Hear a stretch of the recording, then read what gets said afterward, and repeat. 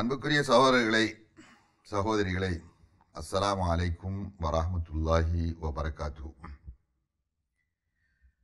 வல்ல இறைவன் அல்லாஹை பற்றி இன்றைக்கு நம்மில் பெருவாரியானவர்கள் புரியாமே இருந்து கொண்டிருக்கிறார்கள். உலகத்திலே ஒட்டுமொத்த மனித சமுதாயத்தை நாம் ஆய்வு செய்து பார்க்கின்ற பொழுது படைப்புகளை பற்றி சிந்திக்கின்ற மனிதன் படைத்தவன் யார் என்பதை பற்றி அறியாமல் இருந்து கொண்டிருக்கின்றான்.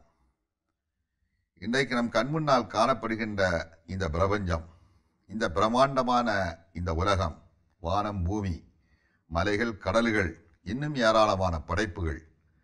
இந்த படைப்புகளெல்லாம் யாரால் உருவாக்கப்பட்டது அது எப்படி படைக்கப்பட்டது என்கின்ற அந்த சிந்தனையற்ற மனிதர்களாக வாழ்ந்து கொண்டிருக்கின்ற காரணத்தினால்தான் படைத்தவனை மனித சமுதாயம் மறந்து வாழ்ந்து கொண்டிருக்கின்றது.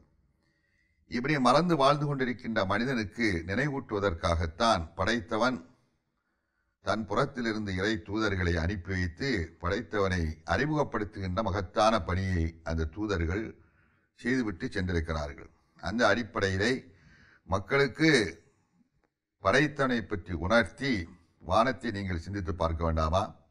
பூமியை சிந்தித்து பார்க்க வேண்டாமா?